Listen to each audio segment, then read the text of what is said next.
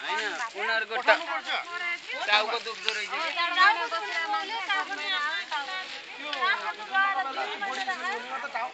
टाउको दुखेर त्यो समस्या होला हामीलाई फेरि त्यो जानकारी त्यही राख न त्यसमा अलिक बोराले हुनु नि हाल्नु।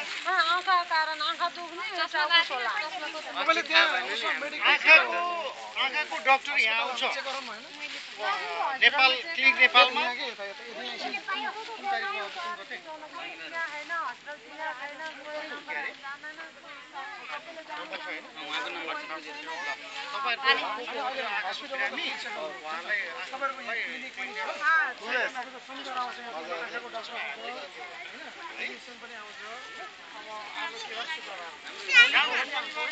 आउँछ। आयो भने बिस रुपियाँमा चाहिँ त्यो उनीहरूले चेकअप गरिदिन्छ अब टाउकोकै समस्या हो कि? होइन? आँखा आँखाको कारणले गर्दा टाउको दुख्छ कि?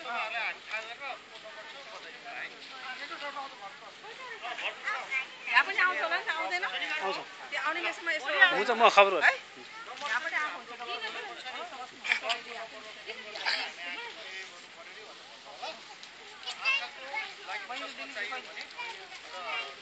दाँतको लागि के गर्नु पर्ने रहेछ त्यो डक्टर आउने डक्टरलाई हामीले चिनेको छ उसलाई कन्सेक्सनमा कसरी हुन्छ?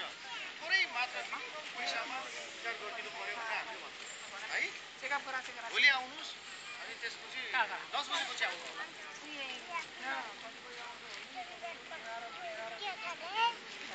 जानु। त्यहाँ दिन्छ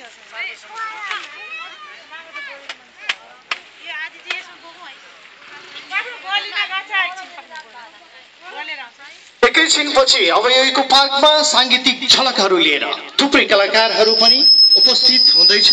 कृपया तपाईँहरू सबै यो स्टेज छोडेर टाढा जाने कोसिस नगर्नुहोला। यदि टाढियो भने तपाईँ रमाइलोबाट पनि टाढो रहनुहुनेछ। साङ्गीतिक झङ्कारहरूमा कलाकार भाइ बहिनीहरू स्टेजतर्फ आउँदै हुनुहुन्छ।